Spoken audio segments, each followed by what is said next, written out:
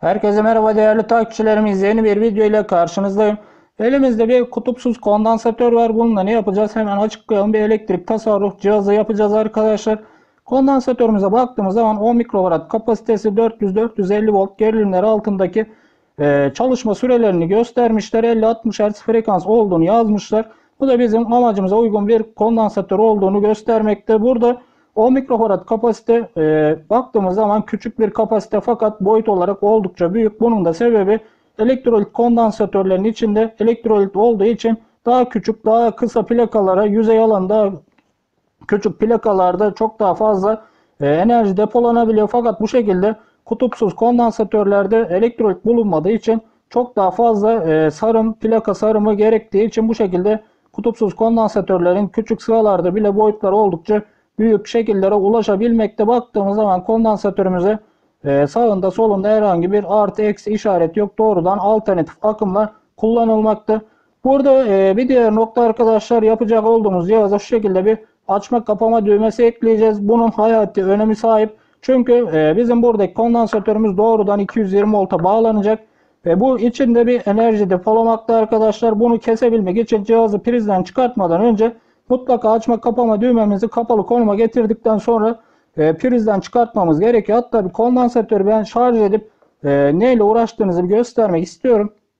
Şu anda kondansatörün prizden şarj ettim arkadaşlar. Doğrudan 220 volt ile şarj edildi. Gördüğünüz gibi çok ciddi miktarda bir enerji üzerinde depolanmakta. O sebepten ötürü bu şekilde açma kapama düğmesi koymanız hayati öneme sahip. Burada elektrik çarpma riski de var arkadaşlar. E, elektronikten anlamayan arkadaşların daha dikkatli davranmalarını öneriyorum. Şimdi diğer ekipmanlarımızı da gösterelim. Şu şekilde bir plastik kılıf kullanacağım arkadaşlar. Kondansatörüm güvenli olması için devreyle birlikte bunun içine yerleştireceğim. Ardından e, bir indikatör led kullanacağım arkadaşlar şu şekilde. Minik bir led kullanacağım arkadaşlar. Küçük bir gösterge ışığı olması açısından. Diğer parçamız şu şekilde ledimizi korumak için şu şekilde bir N4007 bir diyot kullanacağız. Standart bir diyot arkadaşlar. Ve bizim e, ledimize gelen akımı sınırlaması için şu şekilde tercihen 1 watt ve üzeri 100 kilo ohmluk bir direnç kullanabilirsiniz.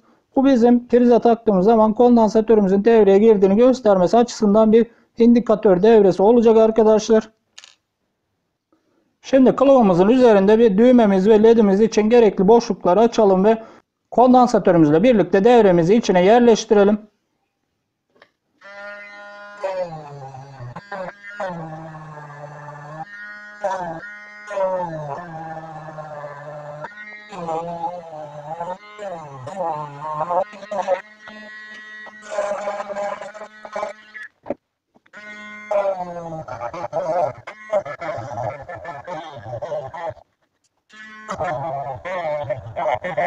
Gracias.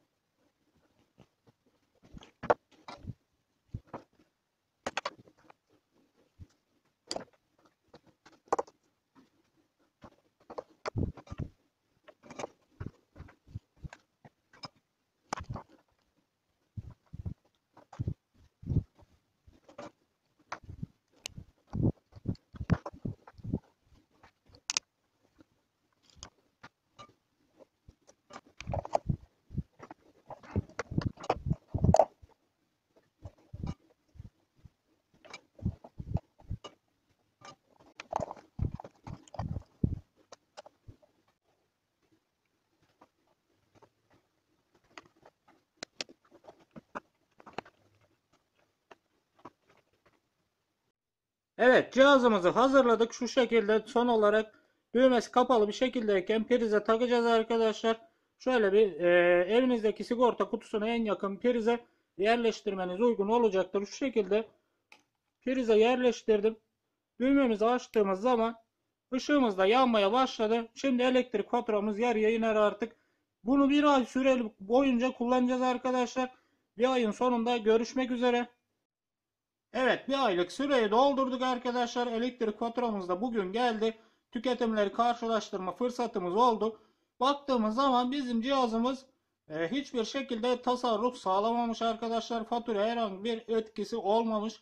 E, biz bunu videonun başından bilerek yaptık fakat internet üzerinde bu şekilde tasarruf yaptığını iddia eden pek çok enerji tasarruf cihazları satılmakta.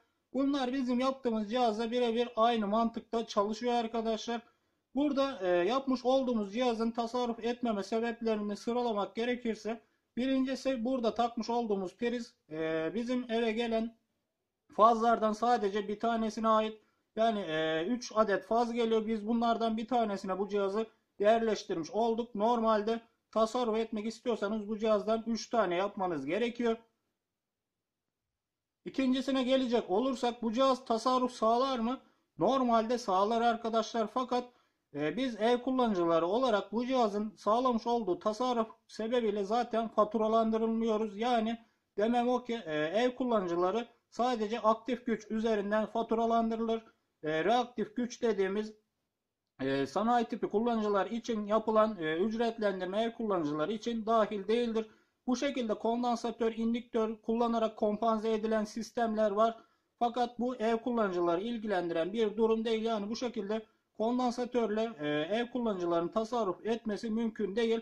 Bu e, fabrika benzeri yerlerde motorlar devreye girdiği zaman oluşan endüktif yükü bu şekilde e, kondansatörle kapasitif yükle dengeleyerek reaktif gücün sıfıra yaklaşması sağlanır ve bu şekilde bu sanayi tipi kullanıcıların faturalarına olumlu şekilde yansır.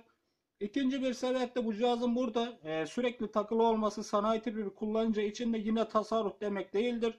Eğer endüktif bir yük yoksa ve sadece bu kondansatör sürekli devrede ise kondansatörde reaktif güç tüketmeye başlar ve e, bu da tüketici ekstra ücret olarak yansır arkadaşlar. Bu şekilde kondansatörler e, endüktif yükler yani motorlar devreye girdiği zaman kondansatörler devreye girecek. Endüktif yük ortadan kalktığı zaman da kondansatör devreden çıkartılacak şekilde sürekli gözlemlenerek sisteme dahil edilip çıkartılarak e, oluşturulan bir sistemle tasarruf sağlaması mümkündür. Yani eğer e, endüktif yükle e, faturalandırılıyorsanız bu şekilde kondansatörü sürekli bırakmanızda size çok fazla bir e, kar sağlamayacaktır arkadaşlar. Özellikle endüktif yük kullanmadığı zamanlarda da size zarar yazacaktır. Zaten bu kısmı dediğim gibi e, büyük tüketicileri ilgilendiren kısım bizim e, ev kullanıcıları olarak bu şekilde bir cihaza tasarruf etmemiz zaten mümkün değil. Umarım videomuz faydalı olmuştur. E, bu şekilde cihazlara rağbet etmemeniz için veya internet üzerinde çok fazla bu e, kondansatörlerle ilgili tasarruf sağladığını iddia eden videolar var. Onlara itibar etmemeniz için hazırlamış olduğumuz bir video. Yeni bir videoda görüşmek üzere. Videomuzu beğenmeyi, yorum yapmayı, kanalımıza abone olmayı unutmayın. Hoşçakalın.